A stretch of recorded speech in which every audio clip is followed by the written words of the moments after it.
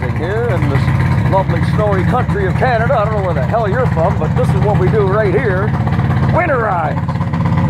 Something about a tunnel.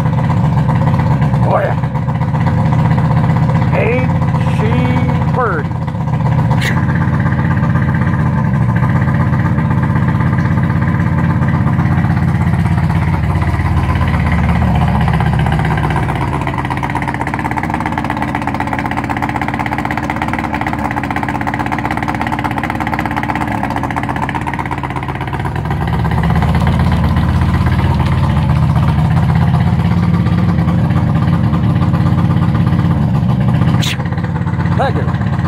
Thank you very much.